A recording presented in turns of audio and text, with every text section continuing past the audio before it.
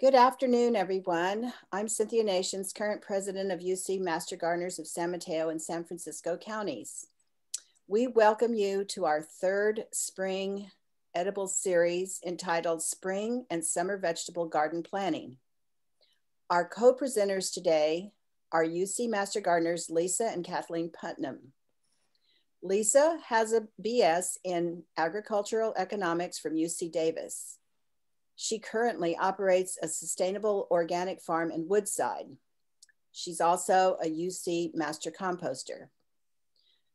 Kathleen is a professional organic vegetable gardener serving the Mid-Peninsula. She is an International Society of uh, Arboricultural Certified Arborist and has a certificate in environmental horticulture from City College of San Francisco.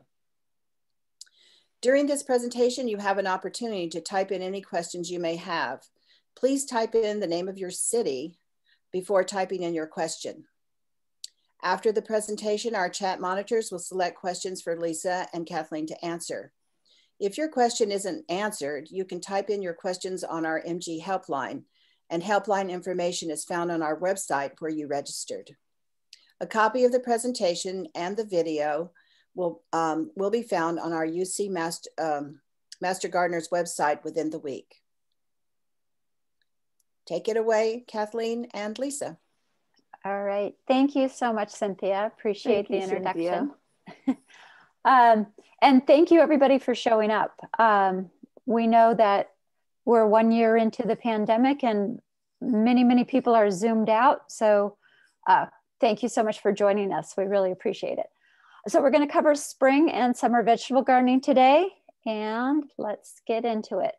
Um, so we're kind of going to cover the why, where, when, what, and how of having a vegetable garden. Uh, we'll touch on pest protection, um, the value of daily observation, and some tips on some of the families. And uh, that's a bouquet I made a few years ago. Uh, few years ago, last April. April is the month for artichokes and asparagus. So I put them in my flower bouquets. Um, so let's start off with why. Why grow your own vegetables? Because there's so many terrific farmers markets.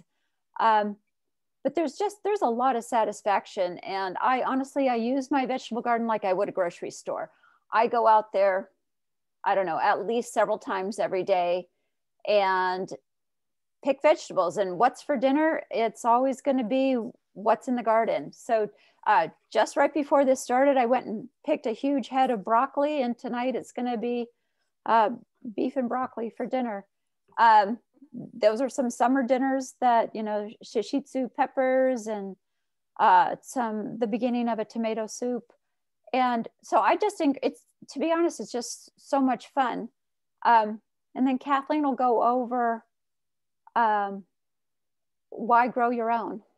Well, since commercial fertilizers have become available, um, the plants no longer go out and forage and make relationships with the life in the soil. And the nutritional value of our vegetables since 1940 has significantly reduced. so if you grow your own vegetables organically, they're going to be excuse me, way more nutrient dense. Yeah. And just a heck of a lot more tasty too. Yeah. Nutri- nutrient density equals taste. Yeah. That'll give me yummy. Um, so where grow, where should you grow your veggies? Um, you really only need three things. Um, but it's helpful if you have a few other things. Um, you need sun and you need a lot of sun. Um, you need living soil with lots and lots of little worms and life in it, and you need water.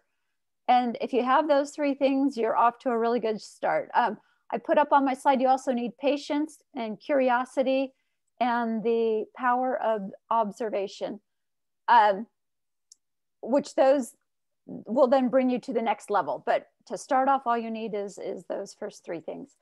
Um, leaf vegetables and your root vegetables, you can get away with a little bit less sun, like six hours of full sun. For your fruiting vegetables, which are all your summer stuff, your tomatoes, cucumbers, um, corn, um, all those things, you need at least eight hours. And when we say full sun, that means if you're out in the garden and you put your hands out or your body, the sun is hitting you. It's not dappled, it's not sunny, but not on your plant. It's actually sun hitting the plant for photosynthesis, which we'll get into in a minute. Um, and I will say, I find this over and over and over again. If you have those three things enough sun, soil, and water, living soil um, the garden kind of takes care of itself. You don't, um, you don't get huge infestations unless the plant's dying. Um, you don't, you just, you don't get the pest problems and you don't get a lot of the problems because everything that plant needs to thrive, it has. So um, it saves you a lot of heartache. Um, and yeah, Kathleen puts this, um, you can't negotiate with the plant. And I can't tell you how many gardeners have asked us, you know, well, I don't have six hours, but I've got four. And it's like, no, the plant needs what it needs. It's not a, you know, it just needs what it needs. And so um, it's not really a negotiation with the plant. Um, another where is do you do it in the ground or do you do it in raised beds? So on the left, in, it's on the left for me, I'm not sure if it is for you, but those are my raised beds at my current garden. And I've got eight. Okay. I've got I've got eight raised beds. And um I, and this is kind of nice as I get a little little older. Um but it's also very expensive to do all those raised beds. The one on my right is my garden in Woodside, and it's just in the ground. Um, and that didn't cost me. I have T tape, which is very inexpensive. Um, that garden did not cost me much to put in. So, uh, part of its budget, part of its space, part of its um, just what you prefer. Um, plants have grown in the ground for eons. Yeah. I will say my personal preference is in the ground because then that plant can access the entire soil food web um, in, in a raised bed, it's more of an artificial environment. Uh, you get better drainage, which is a plus. But um, I, if it was just up to me, I'd probably just do in the ground. Why do you have raised beds? My husband likes the look of it.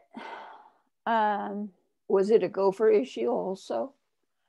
I do have a lot of gophers, but I have a lot of paperwhite narcissus. You know, so like my fruit trees, I never had a gopher problem with my fruit trees. So a lot I of think, people do raised beds though because they have gopher problems, don't you think? Yeah, that's true. And I did put gopher. So on the bottom of the uh, raised beds, I put hardware cloth, quarter inch hardware cloth, which is uh, to keep the gophers out. And I actually made it go up the sides of the beds, like by six inches or something, because those little gophers if they get a little area that they can squeeze their little bodies into, they will. and then you're going to have issues. uh, we're still on where. Um, how much space do you need? Um, and this is just, you know, we're so lucky and so blessed, and we pay the property taxes to live in California. Um, but it means really you can grow vegetables year round. And so I know Kathleen and I are just always jockeying in our minds. It's like, okay, I just planted out my entire spring garden, but I know April 15th, I'm going to be planting my entire summer garden. Where are all those things going to go? Where's my zucchini going to go? Where's my cucumbers and my tomatoes and eggplant and peppers? Because right now I'm pretty well packed out. Um, but I am always thinking that, and I know my tomatoes are going to be squeezed in with my broccoli, and I know my peppers and eggplant are going to go where my bok choy is. So, but just always be thinking about three to six months ahead of time of, you know, space. Um, and I would say, oh yeah, it is on this slide. Um, for a family of four, I would say if you're doing raised beds, you need about four raised beds. Um, and that would be enough vegetables and I would say the the minimum number of raised beds you want is at least three, so that you can rotate your um, tomato families through them every third year. Yeah, good point. Good which point. Lisa will get into that, but I think three is a nice minimum number. Yeah, yeah, and there's also guerrilla gardening going in. I mean, so my garden is to the left. It looks kind of wild and crazy, but then I didn't really have room for my artichokes, so I went to my dad's house and I planted my artichokes at my dad's house. Anyway, you know, you can you can kind of tuck things in uh, when your neighbors aren't looking. So. okay, Kathleen, we're still on where we're on the living soil of where. Yeah. So the soil food web is an amazing thing, and it all starts with sunlight hitting the leaves of your plant and your plant converting that energy into chemical energy, carbohydrates. And they give a third of their energy to the life in the soil, which starts the, the soil food web. And the fungi and the bacteria, it, it all feeds the plant, but you want to feed your soil in order to feed your plant. Okay. And then how do you feed your soil? You cover crop. That's my new answer to every question that I get is, is cover, cover crop. crop. um, you grow a diversity of plants and yeah. you want to rotate families. Lisa will get into families. Um, feed the soil. If you don't cover crop, put compost and cover your compost with mulch because you want to protect that compost. It's full of life. You don't till your soil because um, you're releasing carbon when you when you dig into your soil, like farmers with their con no with their um what's it their whatever that machine is called like a and um, if you grow in a raised bed we really like um, Lyngso's veggie blend and for compost make your own is the best but if you don't make your own compost make uh, um, Lingso has a Diestel turkey compost which is very nice um, and always always always mulch you yeah. don't want your soil naked. Yeah. So keep your soil covered. I could tell my Megan story. Should I tell my Megan story? Sure. This will put it in your mind and keep it in there. Um, it's also Kathleen and I went to a seminar. I think it was Kris Nichols, who was um, Dr. Kris Nichols, who was going by farms in California. She's, I think, from Minnesota, and uh, North Dakota. Oh, she's from North Dakota. I probably can't say the word she was using. No, don't. Okay. But she was going by farm after farm in California. She's like, dumb, dumb person, dumb person, dumb person. and basically the, the the ground was just ground. It wasn't covered. And she's like, you're in California. Keep that soil covered. No excuse. She didn't want to hear any excuses. And it did remind me of my niece when she was in uh, preschool and she decided she wanted to go to school naked that day. So her mom said, Fine, we'll go to school naked. That's what you want to do. So they drive down to preschool. It's time for her to get out of the car. And she's like, uh, maybe this wasn't such a great idea. and uh, and luckily her mom had packed um, some clothes. So little Megan got her clothes on and went into preschool. But just remember that, keep that in your mind. You do not want your soil naked you'll embarrass yourself if you have your soil naked. So if we see your soil naked, we will ridicule you. so no naked soil. okay, point well made, I think. Yeah. Um, why feed the web? Um, it'll increase your organic matter. Like I said, a third of the plant's energy goes into the soil, which is liquid carbon. Um, it increases your soil organisms, it increases your water holding capacity, it cleans the water as it moves through, and it improves your soil structure. It's good stuff. So yep. we just never think in terms of feeding the plant. We 100% think in terms of feeding the soil. What's going to make the soil more alive? What's uh, how do we protect this soil? And don't worry about the plants. They're they're completely down the list of what's important. Uh, okay. Um, Kathleen, you want to do Gabe Brown? Yeah, Gabe Brown is a uh, a farmer in North Dakota who has he grows soil. You know, it used to be that uh, sustainable agriculture was what everybody thought was great, but Gabe looked at his soil and he said, "I don't want to sustain this. I want to regenerate this," which is the new word now that everyone is using. But um, the the principles are disturb the soil as little as possible. So you don't want to till. Um, you always want to have roots in the ground. The greater the diversity, the healthier your soil will be. It's like it's like people, right? You want to eat a diversity of food. If you only drank Diet Coke, you're not going to be very healthy. Um, always have your soil covered, whether it's with roots or with mulch.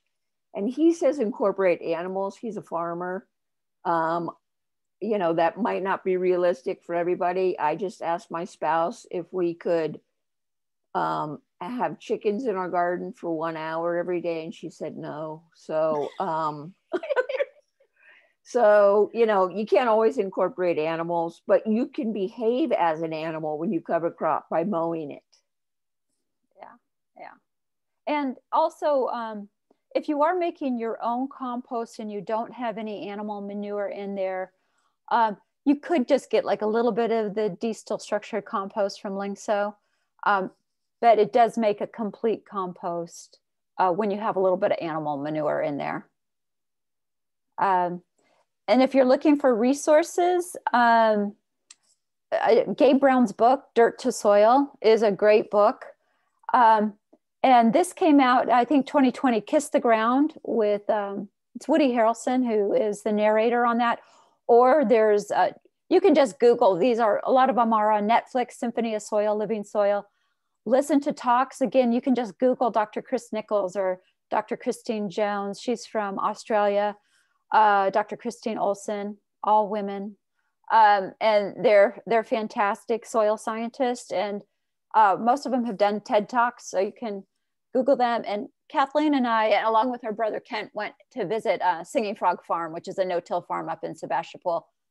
They're probably, I don't know if they're doing farm tours still. Uh, you could see, I'm just not sure with COVID, but um, anyway, there's lots of places to learn about no-till farming and how to protect your soil. So those are just some good resources. Um, oh, cover, cover crop. the answer to everything in life the answer to everything because cover crop will improve your soil. Lisa and I um, just had a disagreement on one of our clients. And Lisa thought we needed to take this, all the soil out of her raised beds and replace it with Lyngso Veggie Blend. And I said, we can fix this with cover cropping. So we put on a layer of a very high quality compost. I throw threw out a huge diversity of seeds and then I covered it with some mulch, watered it, and her soil is amazing now. it's you true. I believe I, it. I totally stand corrected. She had soil in there that was as dead as dirt. I mean, it was there was no life in her soil. And I thought there was no way to bring that soil back. Um, and I, so I was the one who recommend, let's take that soil out. We've got to go get, we need to start fresh here. And it's probably now the best soil I have seen. I mean, it's, I God, I wish you guys could see it. I did take some photos. I didn't put them in this presentation. That soil is just absolutely, it's like butter. I mean, it's just beautiful. So, good job. Good job, Kathleen. oh God, we're, we're hitting it hard on cover crops today. Uh, rotation, cover crop. So um, I think it's the next slide or two. We go into plant families, but you don't want to plant the same family over and over in the same place. Let's say you are in beds. You don't want to do beets followed with spinach, followed with amaranth, followed with quinoa, followed with chard. Um, all those guys are in the same family. Um, it's uh, you know they get a little they get a little leaf miner, and then that leaf miner is going to drop to the soil, and it's going to pupate, and it's going to you know you're just planting the host plant for that exact insect so you want to always rotate your your crops. Um, it's more important probably in the solanaceae in the tomato family than in any other family. But um, if you just go grow a diversity and don't don't grow the same plant in the same place year after year. I, I, I have an issue with this slide lisa. What's that? Um, you say the plant you can group by plant family which i agree with. Yeah but the heavy or light feeders, I disagree with. Okay. Because the plants actually, it's, we now know that the plants, they don't really take from the soil. I mean, certain families are going to take certain nutrients, which is another reason to rotate, but it's not like they're a heavy or a light feeder because they all give to the soil. Well, that's interesting. You know, that's actually, I think, from when we took our classes from 10 years ago. which she was very chemical. Yeah. We took it, uh, Kathleen and I took a series at City College um, from Pam Pierce, who's an amazing, incredible vegetable gardener.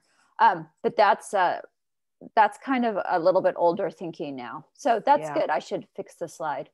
No, I think it actually leave it and we can, it makes for discussion. Okay, good. Chop and drop. We should mention chop and drop since we're on cover cropping still.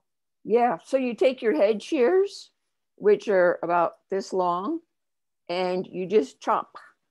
And you chop about oh, three or four inches. I'm actually teaching a cover crop class November 25th with Los Altos, if anybody November. wants to take it, or um, Lyngso has a cover crop class on their website that I taught. And um, so chop and drop is you're essentially making mulch. It's free mulch. Yeah. So in the way why it's called chop and drop is you just start at the top and you chop chop chop and you just let it drop to the ground and it just stays there and then you don't have to be called a dumb person because you don't have your soil covered. All right. I think that kind of hits. okay, we got that. So now we're on to the water part of why win. Um, do you want to go over irrigation, Kathleen? Yeah, irrigation is, I mean, you can hand water. You better go out, you know, once every three days or one, yeah, once every three days. If you're hand watering, you will, you will pay more attention to your plants if you're hand watering. Um, I used to work at a retail nursery and a lot of people do have irrigation systems and drip irrigation. And I would ask them, well, how often and for how long is this plant being watered? And almost always they'd say, oh, well, it's on the clock. Well, that's not an answer. That's that doesn't tell me how often or how long. So yeah. you need to be involved with how often and how long it's being watered a general rule I think is once every three days for mm, 15, 20 minutes. Um, and what we see a lot is closed loop systems, which are not good. And I don't know why everybody seems to install those, but that's when at the end of the line, instead of just ending and putting a little goof plug or a, a clean out valve or clean out, it's not a valve, drip, dripper. Um, people tee it onto the line and they have it all enclosed and that's not good. There's no clean out on that. Yeah. And there's and no need for it. Yeah. We see it all the time. Um, I'm not sure how or why that became popular, but we constantly see people doing a loop system in their raised beds. So, yeah, you just want straight lines that end. Yeah. Um, water in the morning if possible, but it doesn't really matter. Just water when your plant needs it. Uh, don't rely on your timer, still check often. Oh, and, and your finger. here's your best water meter is your finger. Um, I just wrote to a master gardener who's relying on a water meter. And when I worked in retail, we got these water meters in, and I stuck one in a lemon, a ripe lemon, and it registered dry and it registered pH of like eight, which is ridiculous. A lemon probably has a pH of five or six. Yeah. So, unless you buy a really expensive, but I mean like a $200 meter, just use your finger or dig down a little bit and see if there's moisture. Yeah. Um, when we think, so now we're he- we're on to the when of when do you do what in your garden? Um, and I have a chart. I think the next slide's a chart. But December and January, basically, you don't do a whole heck of a lot. But right now, February, March is when you're putting all your spring crops in. So your spring crops are your brassicas, which are the, they're the superstar. They're your fall and your spring crops are the same. Um, but when you plant a spring uh, a spring kale or a spring broccoli, that plant's going to be with you for a long, long time. so you've got to really consider where you're putting it. Um, for instance, a, a fall planted marathon broccoli, right now, mine are totally have gone to flower. They're almost all gone to seed now. Yeah, uh, they're covered with bees.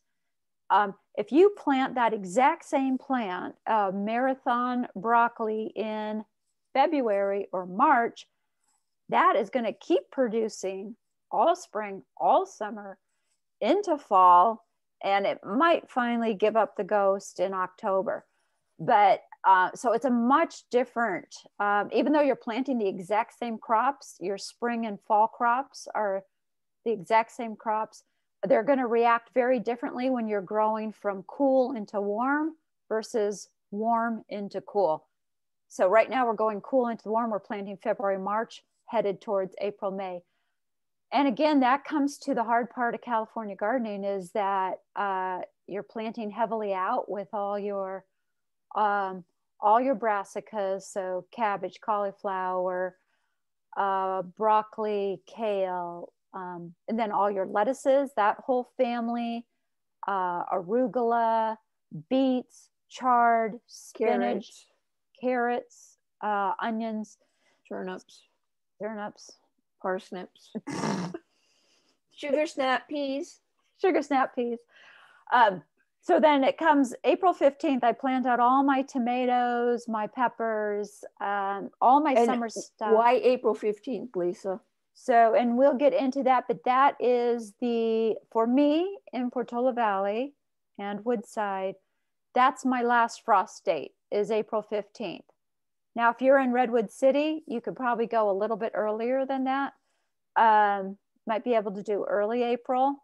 Um, but I tell you, every every year it surprises me. I, I think, oh, it's such an unusual year. It's been such a dry year we won't get any more frost. And sure enough, tax day, we get nailed with frost. So I just do April 15th, I do my summer crops. And uh, and yeah, I should. My mom, my parents are both farmers. Kathleen and my parents are both farmers. And my mom said, until you can sit with your bare bottom in the soil, don't put your tomatoes in.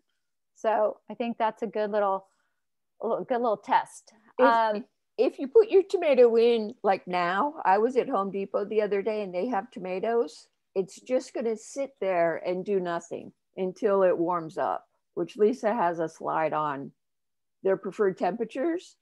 And really, what you're doing is you're just exposing it to insects and disease until it can start fending for itself because yeah. it's not going to grow, it's just going to sit there.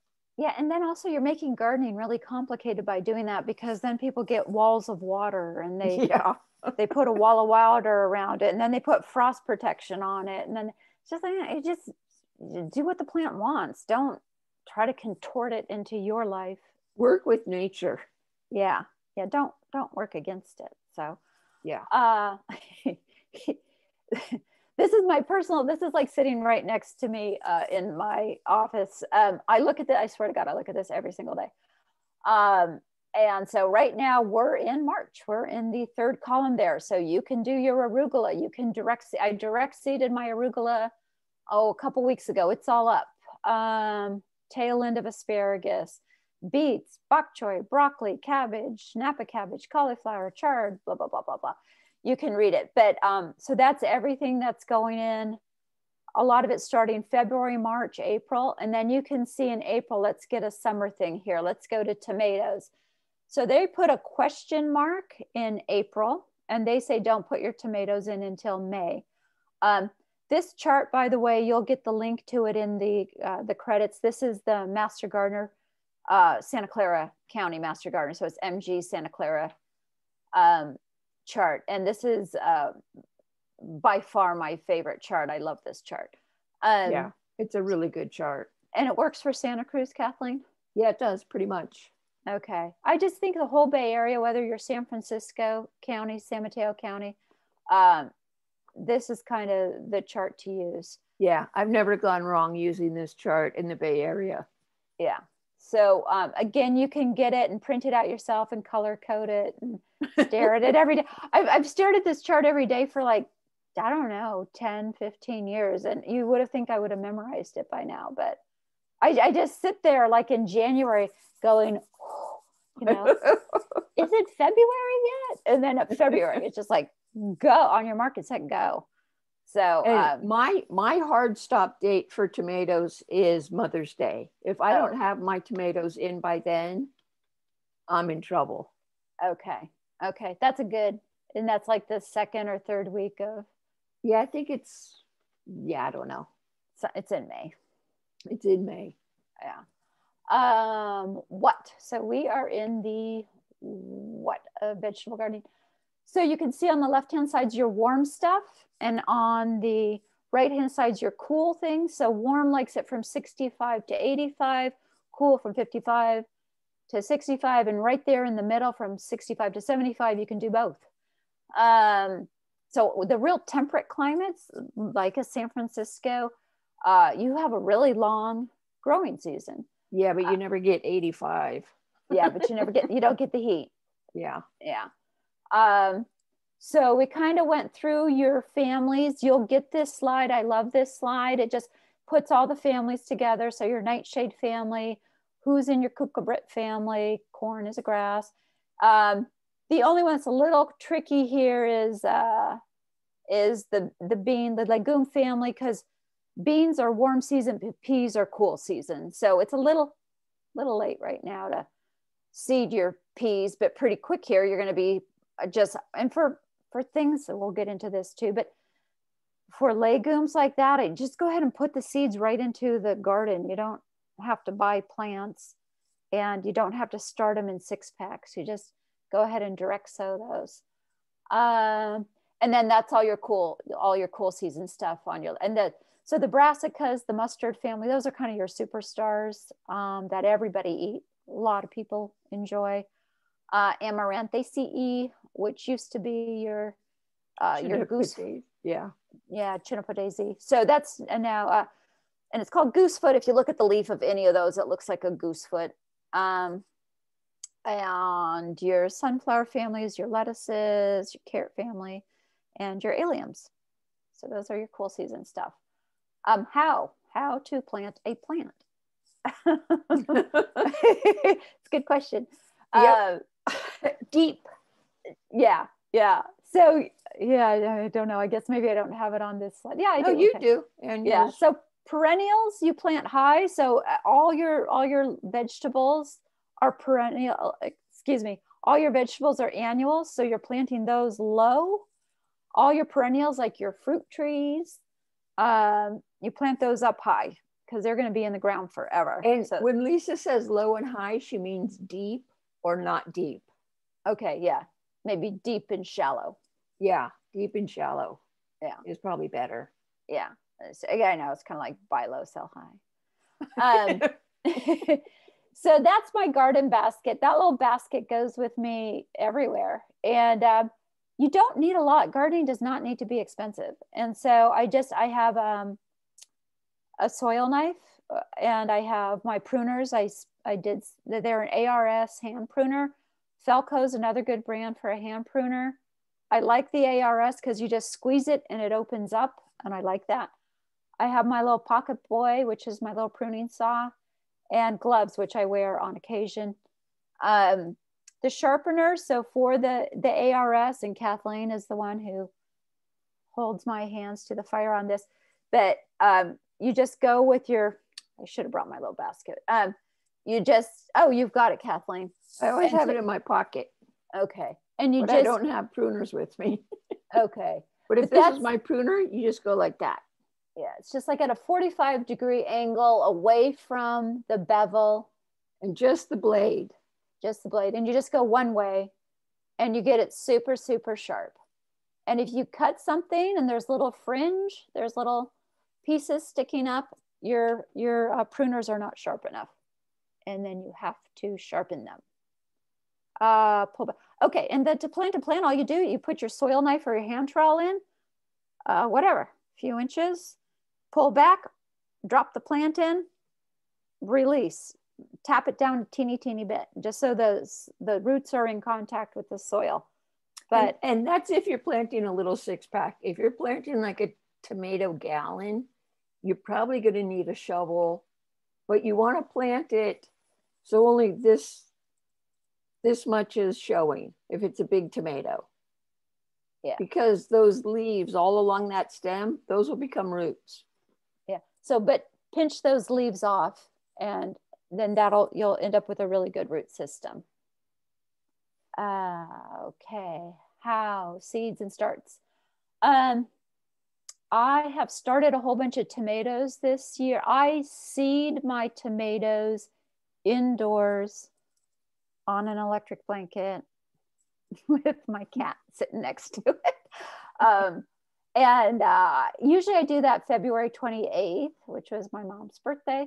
Um, this year I did it March 2nd, uh, but they're all up and they all have their little seed leaves. And I do it six weeks before I want to put them in the garden. I know I want to put them in the garden April 15th. And so you just do the math. And that's when I seed all my tomatoes and eggplants and peppers.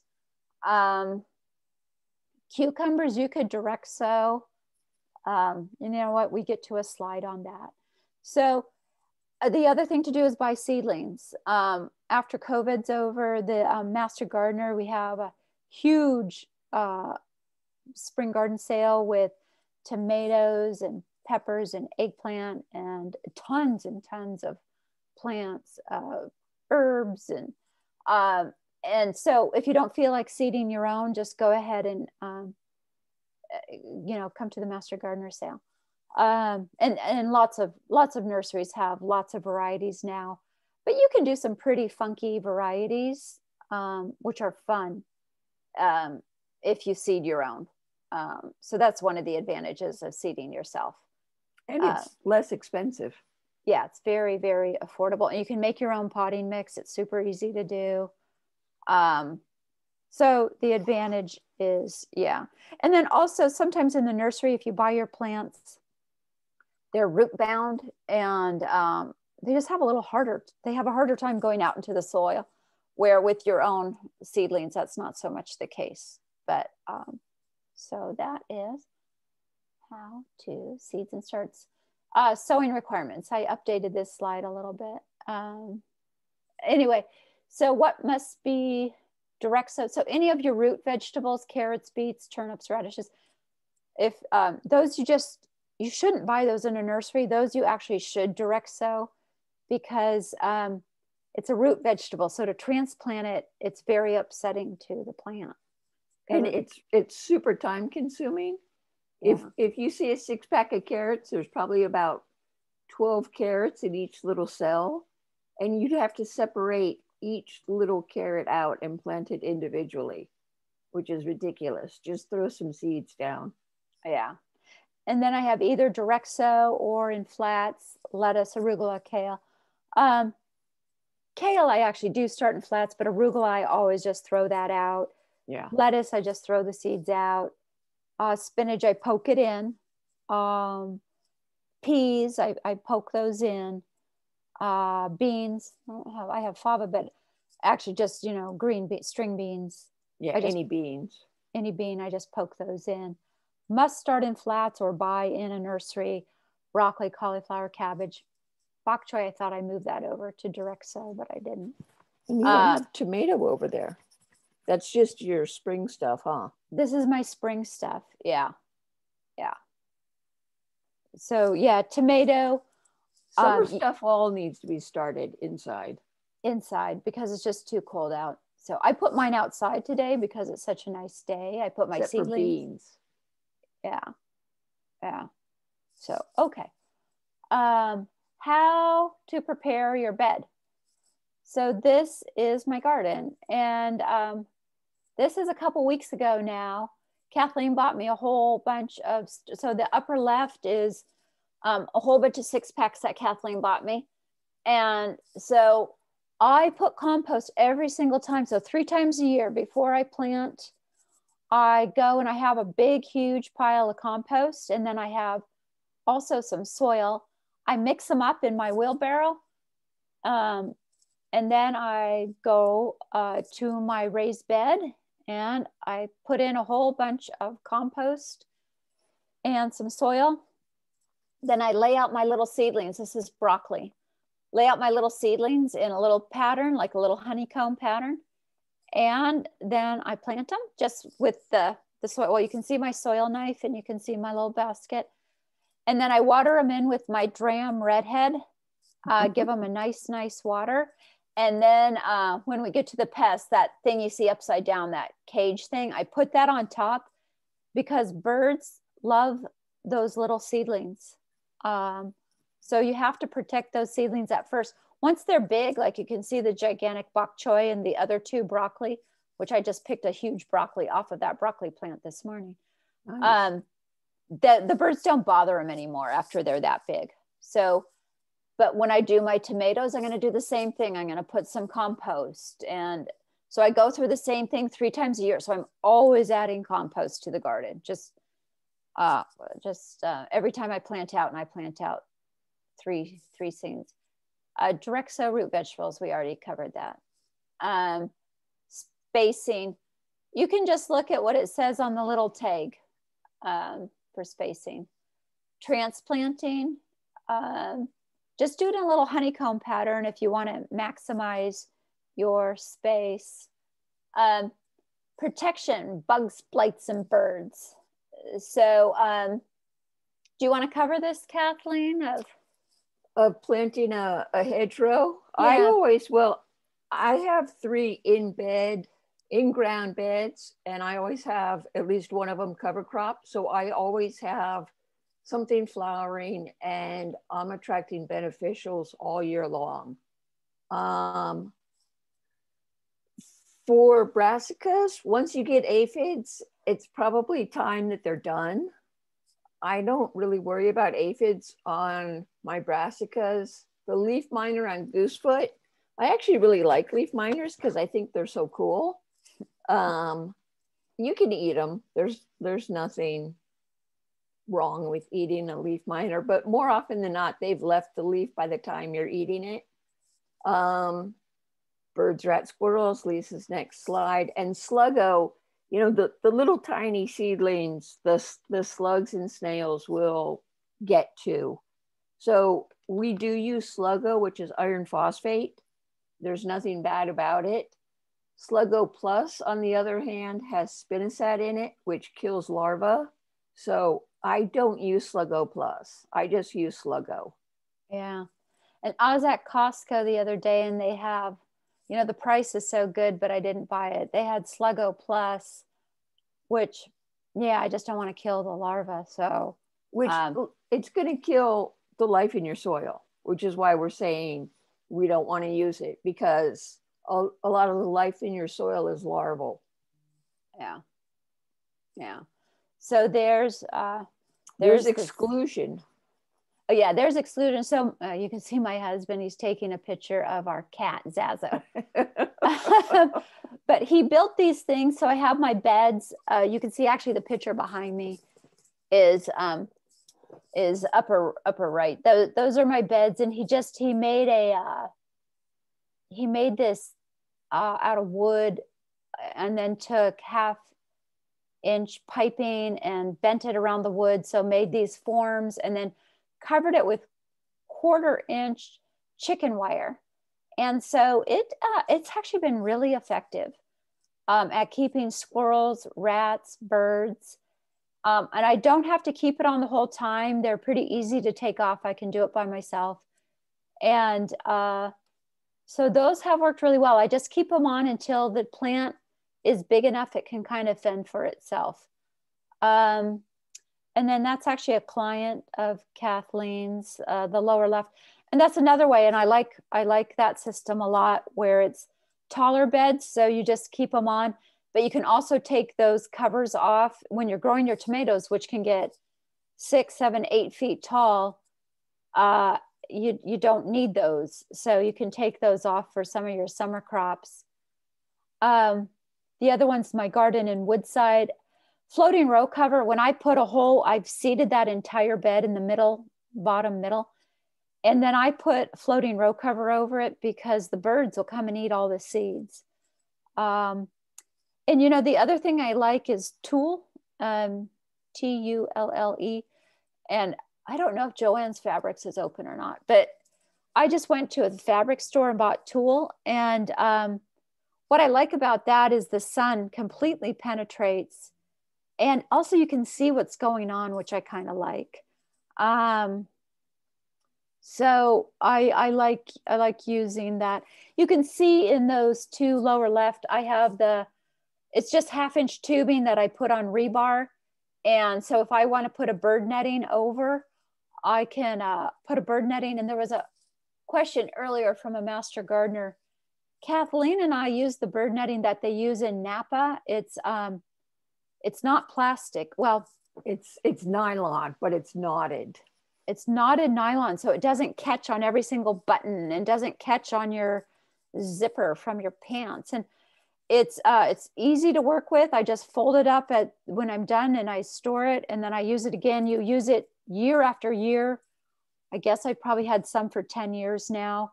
Yeah, it's um, it's a expensive initially, but yeah. you you use it over and over and over and you can use it on your fruit trees, you can use it. It's it's really nice. It's nice and it doesn't catch on every little thing and then it doesn't end up in the landfill, which is uh, uh, just a, a benefit. Yeah. Uh, rodents. Trap them. Trap them. E- either exclude or trap. Yeah, you just don't have a lot of choices here. And that's so for Christmas, um, I asked for a Havahart squirrel and rat trap. Woo! and then I found out I don't have a heart. I um I haven't used it yet. And oh. Bruce, my husband said, if you catch it, I'm not going to deal with it. You're going to have to deal with it. And so I haven't used it, you know. So there you have it. I don't have a heart. I have a heart trap, but I don't, I haven't used it yet. Um, so, so far I'm still doing exclusion. Yeah. But come fruit tree season, you know, I have a lot of fruit trees and then I'm going to be mad that I didn't trap my squirrels. So anyway, uh, that's, I don't know. That's just what I'm going to say there harvesting. Oh, it takes forever. We're getting towards the end of our presentation. So yeah, harvesting, just factor it in. Um, it, I say plan on one third of your garden time to harvest. It just takes a lot of time, especially, I mean, cherry tomatoes. Oh my gosh. I don't even plant, well, I plant like two cherry tomatoes now because they take so much time to harvest. Um, you know cauliflower not so much it's kind of a one and done right you just yeah. you cut off your cauliflower and then you go have dinner but um, beans peas tomatoes cucumbers um, zucchini. zucchini. Which gets this big. Gigantic. You've just you got to be out there man and you got to be on top of it. Um, you you you know because you the more you harvest like a bean or a pea then the more beans or peas you're going to get. Um, because the plant when it goes to seed is saying, okay, I'm done. But if you keep picking those, it's going to keep producing, keep producing. So, um, which reminds me about successive sowing. Um, cauliflower really is one and done. It, it gives you your great big huge head and then never take the roots out. Leave the roots in the ground, but just cut that plant off at soil level and give the leaves. If you have chickens, give the leaves to your chickens or eat them. They're delicious. Or chop and drop. Or chop and drop them. Um, but leave those leave those roots in the, in your soil. Um, but cauliflower is a one and done. So you don't want to plant out 12 cauliflowers necessarily all on the same day. And, you know, 60 to 90 days later, you've got 12 heads of cauliflower. Um, so you can space those and you can plant one cauliflower a week over um, eight weeks. Um, but then there's some things that you just see like cucumbers maybe i'll seed those three times during you know i'll plant out my plants in april but maybe i'll pop a seed in the ground in may and another seed in june and another seed in july. So it extends your harvest because they get bitter when you uh, when you're just trying to work off of the same plant the whole season. That's not true with tomatoes. Tomatoes just keep producing keep producing. Usually october november i have to take my tomatoes out. Uh, again, chop and leave those roots in the ground. Always leave the roots in the ground of everything. The, the, the soil food web, their favorite thing is living roots. Their second favorite thing is dead roots, and their third favorite thing is mulch. Yeah, yeah. So always leave unless you have a, a diseased tomato, then pull out the roots. Yeah, yeah. Uh, single serving. Okay, I think we yeah, that's good. Yeah. Uh, general gardening tips. So this is our last informational slide, I think. So Kathleen and I, um, so when we go on garden consultations, we find the exact same thing over and over and over. And so we're going to save you our consultation fee. and just do not have your gardeners blow your soil. It's naked.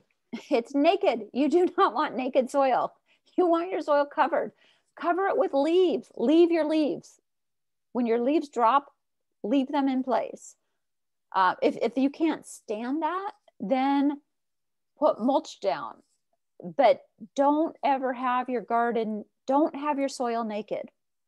And yeah, and blowing it just makes it cement. It's awful. It, it and just a, a deciduous tree actually, if you leave the leaves in place, the tree makes 99% of what it needs with the leaves that drop.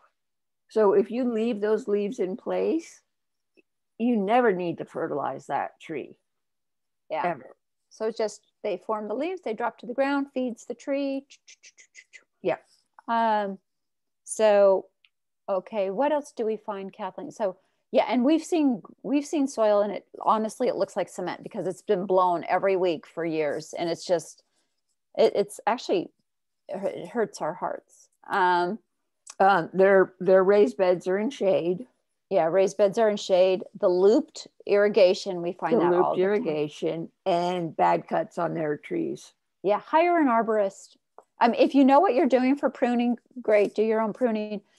If not, hire a professional arborist who knows what they're doing so they make good cuts on your trees. This has nothing to do with vegetables. These are just these are just gardening tips because we see it so often and it actually you know it, it affects us like personally. Yeah, um, it, it hurts my heart to see stubs. Yeah, it's just ouch. So um February, March, you can still it's not too late to do all your weeding. So do your weeding. Um cut off the tops of your weeds, leave the roots in. Hula hoe Or hula hoe, which is the easy way to leave your roots in and cut off the tops. If you can't do that, I do spray my reeds with 30% vinegar.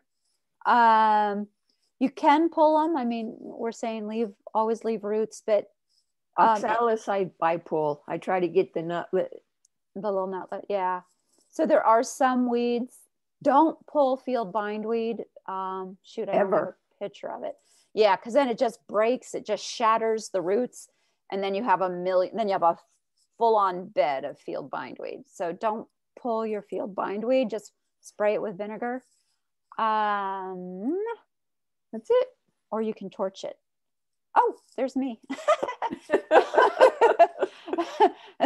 That's a huge cauliflower that I grew about, uh, in a way, a long time ago. And um, just, I really, I honestly, I do use my garden. Like this is dinner the other day was just, oh, I made a chimichurri sauce out of my parsley, some sugar snap peas and broccoli. I did a stir fry, roasted some beets. Um, so, I mean, just use your garden like you would uh, running to the grocery store. Um, oh, we're at question, we're at uh, Q&A and I think Cynthia cool. or um, Kathy's gonna give us some questions from chat. I'm gonna stop screen.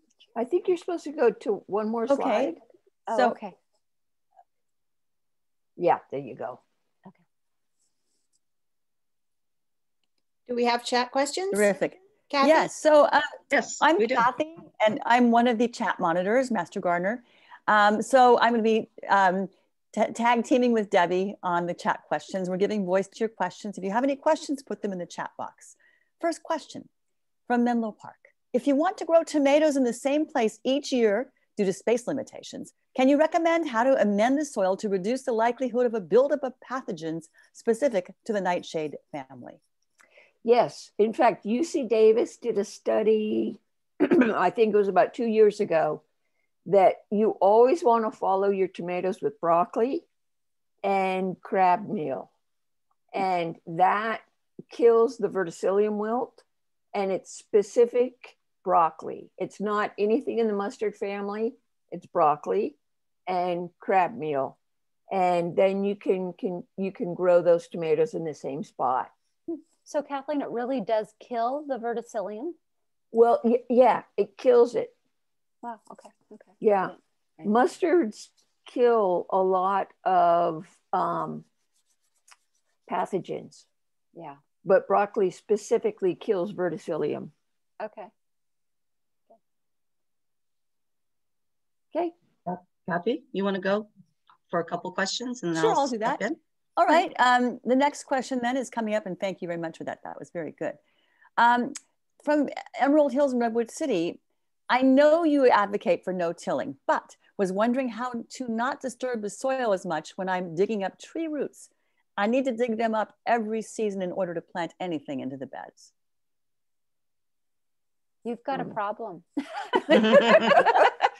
we we actually just ran across this problem. We had a client that put her raised bed next to her boxwood, and the boxwood the the raised bed was full of boxwood roots. Yeah. So we pulled out all the soil. We checked the gopher wire. Uh, we screened the soil. We added some compost to it, and we put a root barrier around the bed, so that the roots can no longer get into that bed. Yeah. With a tree, so this was boxwood and it was a trench, like a very narrow trench, two feet down, Kathleen, or 18 yeah, inches? No, it was two feet down. Two feet down and then put a copper mesh. Um, or did that, yeah, that we used a copper mesh. Um, but we've also used just a plastic root barrier that you'd use around caneberries. Yeah and you put that into the slot, the two foot slot. So you're trying to, of course, the roots are going to go where there's moisture and nutrients. I mean, they're going to go into your raised beds because it's delicious in there. Um, so you have to put a physical root barrier to stop those roots from getting into those raised beds. It's it's it is a lot of work, um, but it's a one time thing. Yeah, it's a one time thing now the the was it copper mesh kathleen or am i? They put in copper mesh and we found that that didn't work well so then we used your stuff. my, my plastic. Um, copper mesh is kind of the latest it's more recent uh, a product out there for a root barrier but not that you want to have plastic in your soil, but uh, plastic works, uh, you know, it just doesn't disintegrate and it stops those roots from getting into those raised beds. Great. Thank you. Uh, next question. All the galvanized hardware cloth that I find has a Prop 65 warning for lead. Is there hardware cloth that's available with different finish without Prop 65 warnings? Hmm. Wow, interesting. Have you come across that before, Kathleen? No, but I've never installed hardware cloth. My husband has. I don't know. Uh, that's a good question. We're going to have to look it up. Okay. Yeah. I, I would send an email to the master gardeners. yeah. That, do a little research. I don't, I don't know. Yeah. The email's on your screen screen right now, but send that to the master gardeners because they, uh, they're required to look it up. But I did not know that. It's good. That's good. Good, good question. Great. Um, the next question is out of Menlo Park. Is the San Mateo Recology free compost okay? Put you on the spot, little, huh? we well, had the same uh, face at the same time. I, I can say I I moved uh, three, four years ago and I have a giant eucalyptus. So I bought a chipper because I would fill my green bin in an hour with all my eucalyptus debris. So the only thing I now put in my green bin is what is diseased, which mm. I think is probably pretty common for most people. Yeah. Not not that they have chippers, but that if they don't want to put it in their compost pile or keep it on their property, they put it in their green bin. Mm-hmm. So um, I'm not a hundred percent comfortable using green bin compost. Yeah, it could have fire blight in it. It could have some. I think they get it really hot. Didn't you go visit one of those facilities, Kathleen? Yeah, they did get it really hot. They get it really hot. Killed so, all the life in it. Yeah, I mean, the good and bad of getting it super hot, it probably kills all the pathogens, but it also kills all the life. So I don't know how alive it is. Uh, to me, it would depend on the use. If you're using it as a mulch, yeah, uh, in your landscape somewhere you need some mulch and you don't want to use wood chips for some reason, I would think it would be fine as a mulch. I or would even a compost around your roses would be fine. Yeah, something like that around a perennial. I, I probably wouldn't hesitate to use it, but in my vegetable bed, I wouldn't.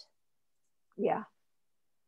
Can I clarify something? So, Kathleen, after you chip the eucalyptus, does yeah. it go in the green bin or does it go into your compost? No, it goes. I mulch it. Oh, you do? Okay. And you use it as mulch? I use it as mulch. Yeah. Yeah. Right. I just spread it all over the place. I, I never buy mulch anymore. Cool. Um, a follow up question on mulch. Do you ever use pine needles as mulch? If oh, yeah. So, how does that go? It's great, especially if you have an acid loving plant. When I used to live in San Francisco and I used to drive through this expensive neighborhood that had um, a divide between the the street going one way and the street going the other way that was planted with pine trees. So in the middle of the night, I used to go rake up those pine needles.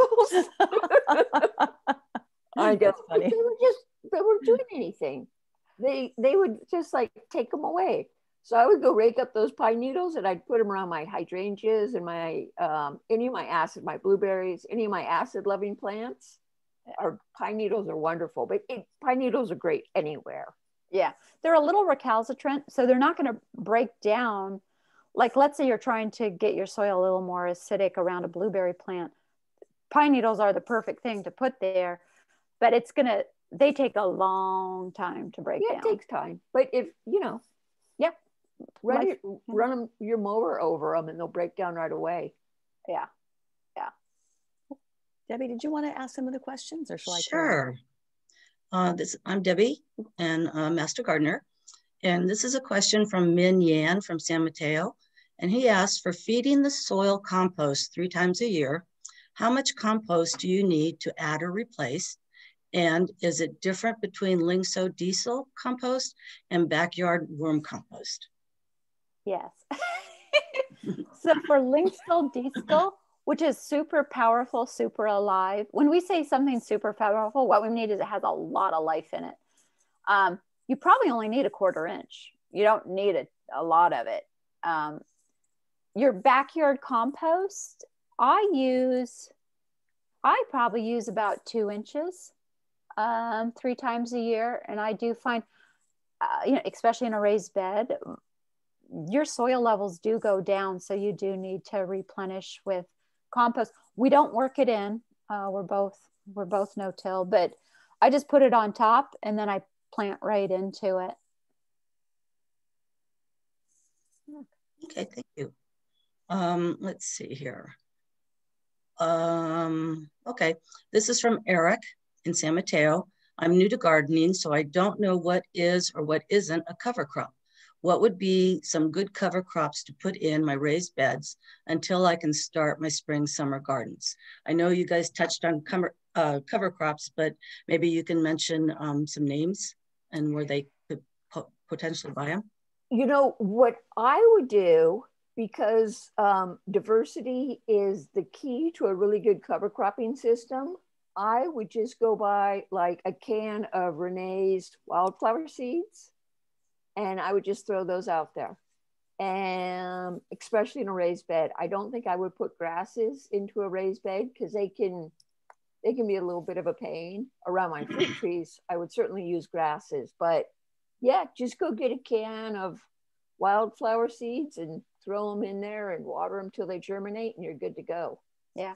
And typical cover crop seeds though would, let's say you're not in a raised bed, would have some rye and some oats um, or barley or barley. But another good one is also buckwheat. Um, it's yeah, easy. great. Buckwheat, it germinates right away and it just it grows so quickly and so it's a really fast cover crop it's a, it's get, we're getting a little bit towards the tail end of spring planting. You know, we're getting pretty quick oh, here. You could totally cover crop with wildflower seeds right now.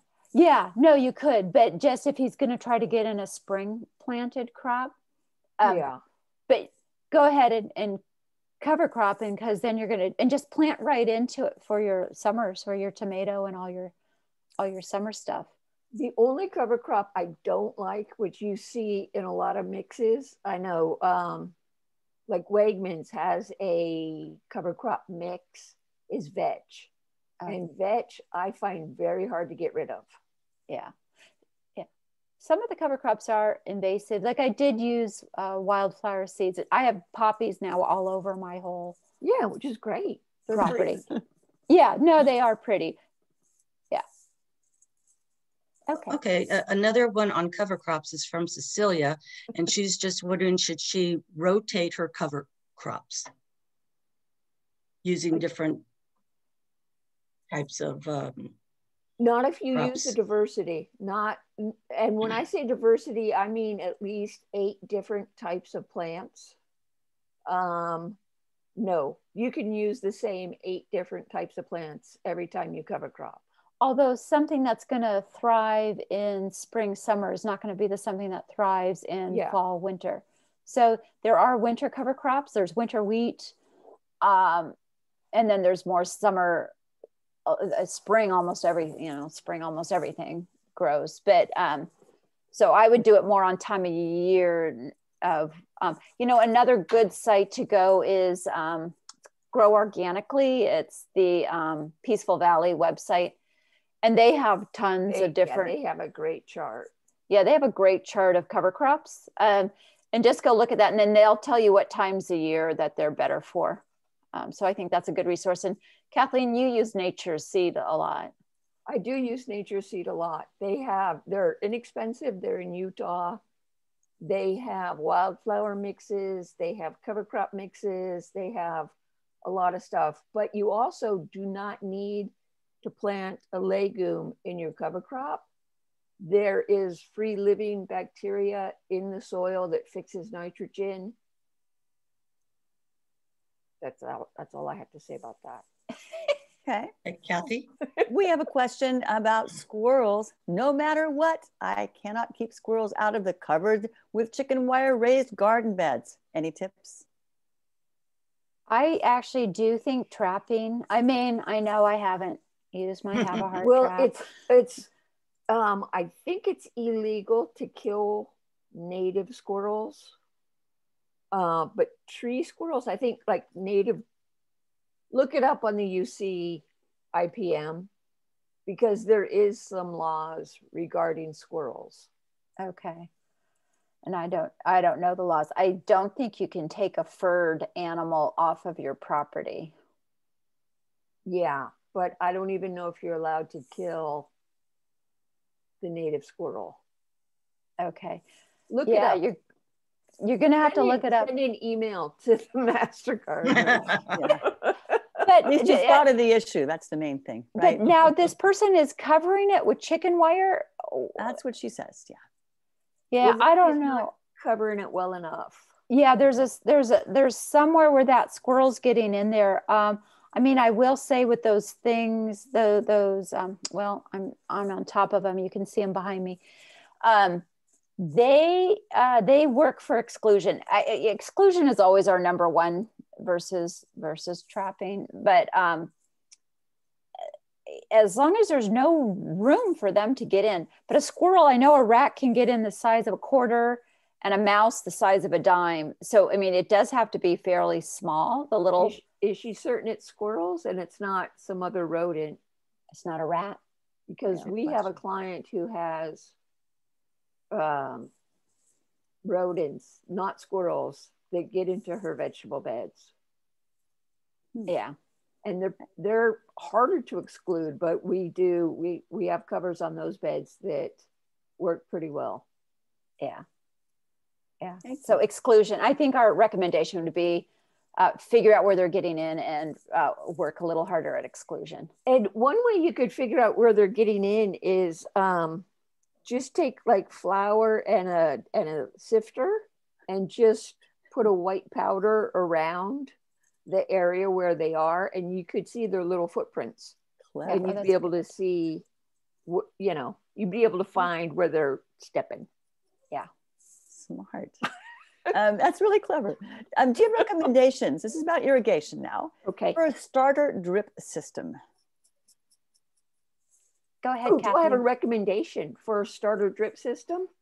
Mm-hmm. Um, you know, there's some really, and I know we're supposed to give more than one source, but if you live in on the peninsula, I would go to Urban Farmer in San Francisco. It's out by the zoo, and they have everything you need to do a hose end timer system. Um, and they're they're super nice. I mean, you could go to Ewing in San Carlos, and there's also Horizon in Menlo Park. They're actually pretty nice. But if you go to Urban Farmer in San Francisco, they will make sure you have every part you need to do a hose end irrigation system, which you probably don't want to, you know, get a clock and valves. And I don't even know how to do that. And I've been gardening for years. Um, but a hose end irrigation system, it's it's not difficult. You just you need the timer, you need a pressure regulator, you need um, a um, backflow, Backflow preventer. backflow stopper, and then you need a, a, the thing that connects the thing, see, that connects your um, thread to your irrigation line. And then you go to half inch line and to take it to your bed, and then you go to quarter inch line to run along your bed. But I, I would go, Horizon would probably be okay, but Urban Farmer's amazing. So I Great. gave three choices. Thank you. Okay, this is our last question we have, um, only in terms of time because there are loads of more questions. But um, where are the best places to buy seeds? Oh, to buy seeds. I buy most mine online, but um, if you want to buy them in person, I like Half Moon Bay Nursery. Yeah, they have a nice Um, variety. They have yeah. like they have like Kaz Kazwana. What's the um, oh, Kazawana. Yeah, the a lot of uh, the Asian. Um, they, they, they're actually headquartered, I think, in Oakland. Um, but a, a lot of your Asian greens, your bok choys and tatsoys, and uh, they have some such interesting seeds. And they're at Half Moon Bay uh, Nursery. Um, but online, Johnny Seed. Um, what's the one in Oregon, Kathleen? Territorial. territorial? I buy a lot of seeds from Territorial. I find they're expensive and I find their shipping is a little expensive. Yeah, same with Peaceful Valley. Their shipping is expensive. They're, they're Yeah. grow organic, right? yeah, groworganic.com. There, you can buy seeds there from yeah, Peaceful Valley. Um, but even you know Wegmans, um, Summer Winds, um, a lot of places have seeds, but I like you know I used to just do this for fun, but you know getting a seed catalog and just going through a seed catalog, it's amazing. You know, there's probably 200 different kinds of broccoli.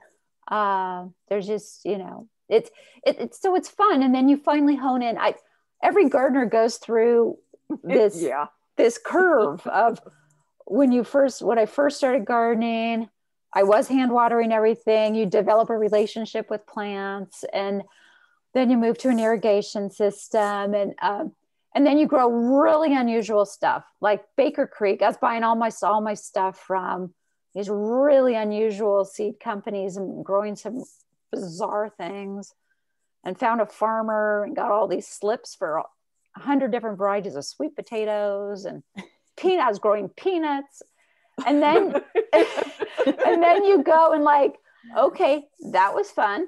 And then you go but to I actually want stuff that tastes good and produces consistently. yeah. then you go back to the tried and true. Then you're back to like the Waltham broccoli and, and the sun you know, gold tomatoes. And- sun gold so you go through this this you know learning curve and you know have fun you have fun like I, okra's so beautiful it's one of the most beautiful. Okra is plants. beautiful. It's, but i don't eat okra you know that's it we didn't even talk about it i wanted yeah. to keep the the presentation going but also plant what you eat. yeah plant what you eat if you know you don't eat collard greens and okra don't plant collard greens and okra you know if, if you know you absolutely love tomatoes plant a that whole bunch of tomatoes but um, plant and if you know you only are going to eat broccoli and you cringe at Cauliflower. yeah then yeah, i know it sounds so common sense but um, just really yeah plant what you're what you're going to eat but have fun too you know go ahead and grow something completely bizarre you know kohlrabi well i'm growing kohlrabi again after not growing it for years but um you know it looks like an outer spit you know a space shuttle or something and you know so But it's, it's fun tasty. and it is tasty Mhm. it is good it's like you know anyway Yeah. so have Thank fun you. but and go through the whole cycle because you have to do it and then come back to the tried and true It's the learning curve. it's the learning curve of gardening. I hate to cut you off because we have so many more great questions. Um, actually, two quick. I mean, someone wants to know the name of the knotted nylon bird netting name and where to purchase it in Napa. That's um, so it is what the Napa, uh, it's what the grape growers use. And shoot, I have it in my gardening shed, but I'd have to run out to my gardening shed to get it. I have the you know, I just bought some and I might have gotten it from AM Leonard, but I'm not positive. Um, Shoot. but I No question. Googled netted nylon bird netting and I, I think I found it that way. yeah. Finally someone wants to know: Will the slides be shared? Yeah. Yeah. I think so. They're going to be on the website, right? Yeah. Great. Right. Yeah. Yeah. Oh, and I think, I think that's it. That's our references. Oh, that's my house. my quince, my quince is blooming. Oh, And um, and then thank you. Thank you, Master Awesome. Gardeners. Thank you. thank you, Um, Lisa and Catherine. yeah. Thanks to both of you. Sure. All right. Okay, every our audience, thank you for attending our spring edibles uh, presentation. This is the third in the series. Uh, Kathleen and Lisa, thank you so much for your excellent information and, and, and your humor. Every time I hear you present, it's, it's new information and great humor. Um, the, pres the fourth presentation in this series is Growing Herbs with Master Gardeners Kathy Fleming and Cindy Morris. Uh, you can find the, inform- uh, the registration information on the UC Master Gardeners of San Mateo and San Francisco County's website. If you have a question that wasn't answered today, you can email your question to the helpline and an MG will respond. The helpline information, a copy of the presentation, and the video link will be found on our UC Master Gardener website within the next week or two. Um, it depends on how long it takes for us to edit it. Thank you for attending and have a very great weekend, everyone. Bye.